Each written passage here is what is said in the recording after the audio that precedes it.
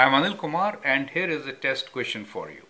You need to figure out whether these two figures given to you represent even functions or odd functions or neither. That is the first part and then you have to also decompose these functions into two different functions and then algebraically prove your answer. So that is your question, right? So I hope you understand the question. So we have two graphs A and B here. So question number one is find whether they are even, odd or neither.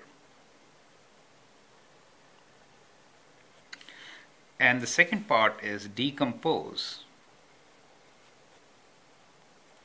as two functions, right? Decompose as combination of functions and prove your result or answer okay in one. Okay so that is your question. So you can pause your video answer the question and then look into my suggestion now one way I can decompose these functions okay let me first answer even or odd part and clearly when I look at it uh, this particular function is symmetric about the y-axis so this function is even. However this is symmetric about the origin so this function is odd so that part is very clear. Now we have to figure out how to decompose them into two different functions and what combination results into even or odd. So as this function starting from the origin, it looks like a sinusoidal wave starting with 0. I could say that f of x is equals to sine x. Another thing which I observe is increasing linearly, right? So, so it's increasing, right? Uh, but what is also happening here is that that on the other side you if I combine it with a line for example then the line is plus x. Now if I multiply then what do I get? So I could do two things. Let me let me write down the functions first. So one is sine of x for us and the other one is is a straight line. And if I multiply with a straight line in that case if I multiply with a positive number I kind of scale my things right? So they become positive and positive. But on this side I'm kind of scaling they are becoming positive and negative. Okay so that is that is what I observe so what could be that function okay let me leave that for the time being. You think about it and let me know. Here again let me say this is sine function f of x equals to sine x. Okay that's good. Now what is g of x? G of x could be a line since it is riding over a line. So so that could be the case. Now okay so that riding over a line gives me a hint that superposition right? So it is superposition. Okay so riding over a line that makes more sense. So I think this part is clear. G of x should be a line and since going through the origin I will take this line as x.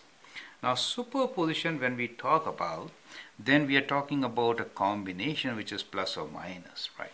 Now since it gets added up I think my function h of x in this particular case is f of x plus g of x that makes sense. So I have a line here and on that line the sine function writes and I get this function. That part is very clear. Okay, so I get that part.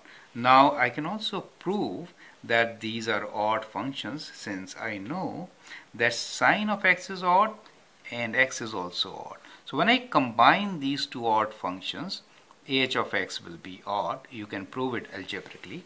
I can leave that for you. Okay, so we've done one part. Now here what?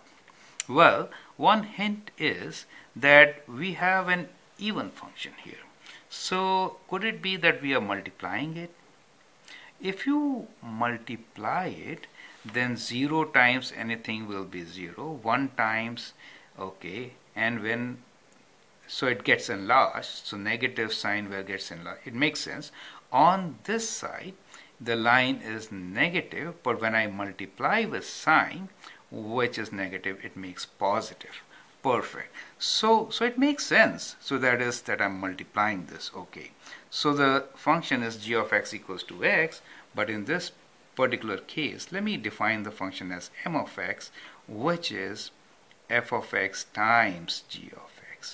It makes sense. Negative and negative, when I multiply, I get even function.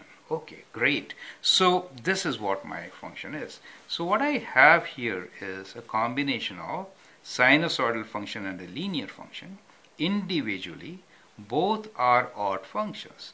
But when I multiply them, I get an even function as you can see, right? And in this case, I have sine x and cos x. Both are odd functions. But to get the odd function, we kind of added them and tested our result. So that's a way to come down to the final answer. So I kind of shared with you the thinking process which could help you to answer such questions in the test paper. I hope that helps. Have a better look at it. This is this is one of the best questions on your test papers and you can expect it many times. Probability of getting this question is very high. I hope that helps. Thank you. Now you can do as an exercise is combination of sine or cosine functions with exponential functions.